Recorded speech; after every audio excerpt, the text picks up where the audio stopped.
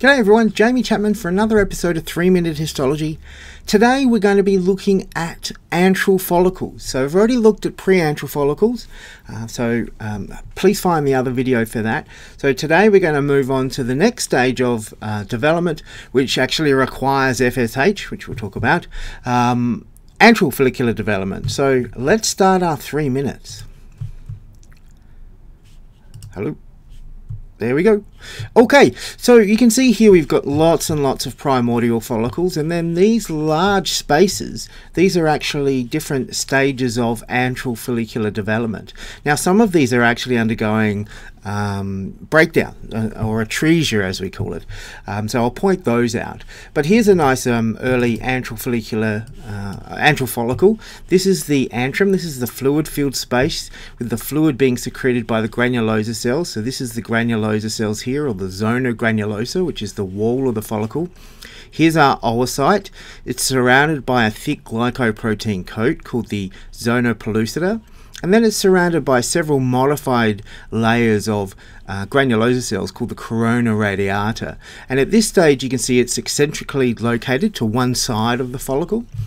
There'd be, um, if we zoom in a little bit here, wait for it to catch up. There'd be a basement membrane here, not always readily visible, and then this layer here directly on the outside of the basement membrane is the um, theca interna. And the theca interna is responsible for producing an androgen. So it has receptors for luteinizing hormone, binds luteinizing hormone, causes it to produce an androgen. That androgen then crosses the basement membrane, it's picked up by the granulosa cells in the presence of FSH, which then converts that androgen into an estrogen through the enzyme aromatase.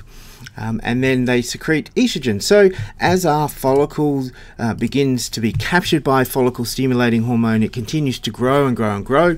More and more receptors for FSH, more and more conversion of um, the androgen into an estrogen, and the levels of um, estrogen increase. Uh, so here we've actually got some other antral follicles. You can see that because antral follicles are quite large, it's actually quite rare to get a section with the oocyte in the middle there. So most of the time you see these big spaces um, without any oocytes, but they are uh, probably present, just not in this planar section. So here this oocyte's been removed through processing um, and here we've actually got an atretic follicle. So how do you tell the difference between an atretic follicle and a healthy follicle? Well, it actually so happens we have two antral follicles here side by side. If we zoom in, we can see some of the major features.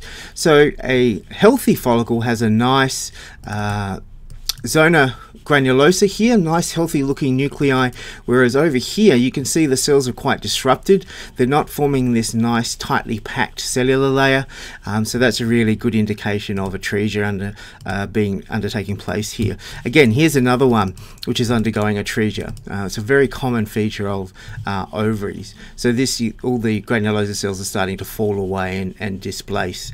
Um, so this follicle is undergoing breakdown. So those are the major features which we find in an antral follicle and in three minutes there's the timer. So hopefully you found that useful and I'll see you in the next video. Hooroo!